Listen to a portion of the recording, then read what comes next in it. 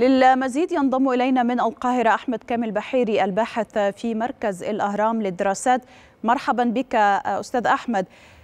هذه الحالة من عدم التصديق ووصف هذا القرار أو هذه المطالبة من المدعي العام بالكارثة والكارثة ذات الأبعاد الأبعاد التاريخية الرغبة من نتنياهو في جمع توقيع الرغبة في عقد جلسة للكونغرس بإدانة هذا أو هذه المطالبات كيف تتابعها وما تأثيرها أيضاً؟ يعني المتابعة هو أن ما جاء من من قرار نتنياهو أو المطالبات أو حتى التصريحات المختلفة التي خرجت من قيادات في الحكومة دولة الاحتلال سواء من مجلس الحرب أو من الحكومة المجتمعة برفض هذا الأمر ووصولا إلى المطالبة للولايات المتحدة الأمريكية للتحرك والضغط على هذا الأمر وتحرك مجموعة من أعضاء الكونجرس المحسوبين على الحزب الجمهوري بتقديم مشروع قانون لفرض عقوبات على المدعي العام وعلى قضاة من المحكمة الجنائية هو استكمال لما يسمى بانتهاء أو يعني انتهاء القيم التي كان يتحدث عليها المجتمع الغربي حول احترام حرية القضاء. يعني عندما نتحدث الآن عن أن المؤسسة التشريعية الأولى في الولايات الأمريكية تقوم بإصدار مشروع يفرض عقوبات على قضاة لمجرد أنهم يتحركون وفقا للقانون الدولي والمواثيق الدولية في مذكرة اتهام اتجاه قيادات من دولة الاحتلال هو ضرب بشكل أساسي هو استكمال لضرب ما يسمى بالاحترام القضاء بشكل كبير. الجزء الآخر أن نتنياهو يعلم أن هذه المذكرة وإن كانت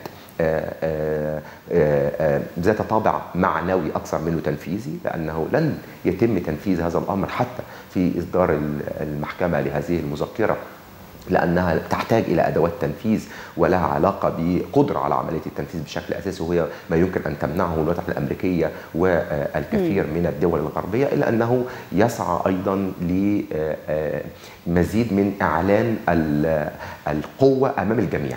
بما فيها. زي ما حدث أمام المحكمة العدل الدولية يريد الآن هو المواجهة مع المحكمة الجنائية فيعلن للجميع أن هذه الدولة لن تحترم أي قرارات تخرج عن جهات قضائية دولية أو حتى احترام لمواثيق الامم المتحدة وأن الحكومة دولة الاحتلال ونتنياهو سيفعل كل ما يمكن أن يفعله بناء على رؤيته الخاصة. نعم. وصل هذا الأمر في في الجزء الأخير وصل هذا الأمر أن وزير الدفاع البريطاني تحدث بشكل أساسي منذ قليل حوالين استمرار الدعم والدفاع عن إسرائيل بغض النظر عن الأشخاص. وهي نقطة أيضا تضاف حوالين الدعم المطلق من جانب العديد من الدول العالم على راسها الولايات المتحده الأمريكية وبريطانيا اتجاه دولة الاحتلال سواء بنتنياهو أو من غير نتنياهو. بهذا المنهج المتبع من 48 حتى هذه اللحظة. نعم، طيب دعني أذهب للنقطة المتعلقة بال الأدوات التي لابد أو تحتاجها الجناية الدولية لإصدار مثل هذه المذكرة.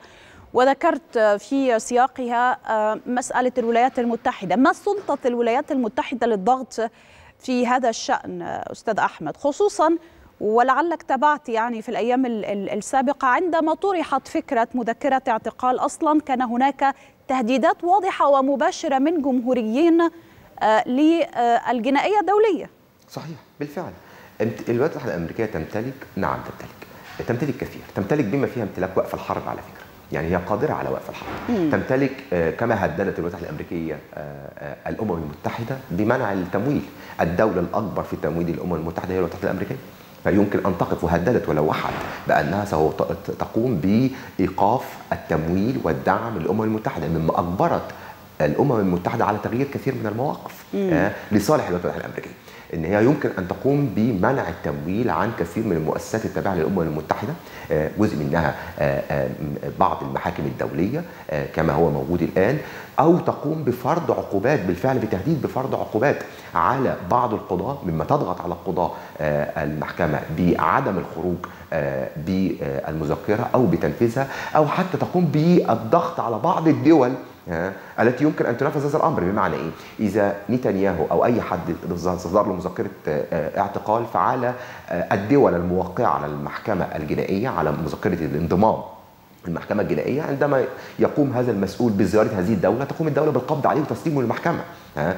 لكن أعتقد أن ده لن يحدث. ان تمتلك الولايات المتحده الأمريكية من الأدوات للضغط على كثير من الدول العالم أن يكون هناك نتنياهو في زياره رسميه لإحدى الدول الموقعة على الاتفاق ولا تقوم بهذا الإجراء.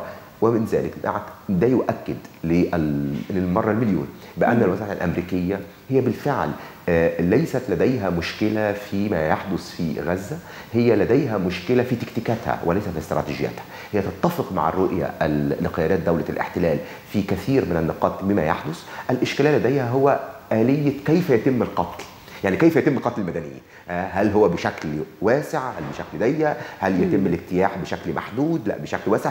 فالخلاف هنا خلاف في التكتيكات ما بين الولايات المتحده الأمريكية وإسرائيل وليس خلافا في الاستراتيجيات والرؤى ما بين الطرفين. ومن ثم هذا الأمر يؤكد أيضا لأن الخط الأول أو ما يسمى بالخط الأحمر بالنسبة للولايات المتحده الأمريكية هو امن إسرائيل وليس نعم من هذه الجزئية سأنطلق معك في الفرضية اللي بيطرحها البعض الآن. لعلك تابعت التصريحات الأخيرة لبيني جانتس والتهديد والتلويح بالاستقالة ومن المعروف إنه في توافقات معينة بينه وبين واشنطن يعني ضد رغبة نتنياهو أو ضد رغبة اليمين المتطرف في إسرائيل. هل تعتقد ستكون ثمة صفقة ما مثلا أو حديث ما أو توافق ما بين الطرفين للإطاحة بنتنياهو ككبش فداء مثلا لحماية إسرائيل؟ خلينا بس نقف، أنت حضرتك أكيد اطلعت على الثمان نقاط اللي اعلنهم. مطالبته يعني مطالبه باعلام نتنياهو ما هي النقاط الإشكالية ما بينها وبين ما يعنونه نتنياهو؟ أبرز نقطة هي إدارة القطاع بعد الحرب. صحيح صحيح صحيح. وحتى هذه اللحظة نتنياهو لم يعلن بشكل مباشر سواء في مجلس الحرب أو عامة عن الخطة التي يتبعها كلها محاولات لجس النبض من أول شركات أمريكية لإدارة المعابر خاصة معبر رفح من الجانب الفلسطيني أو المطالبة ببعض الدول العربية إن هي تقوم بالدور الامني فترد عليه الإمارات في رسالة شديدة اللهجة بأن هذا الأمر غير مقبول. يعني كل ما يطرح هو محاولة جس النبض. لكن ما طرح في المذكرة هو طرح ان القضاء على حماس. طرح ال ال ال تحرير الأسرى منها. هي نفس المطالب في بيعلنها نتنياهو. الأزمة في هذه النقطة أن الفرق في هذا الأمر هو له علاقة بالحسابات الداخلية داخل دولة الاحتلال.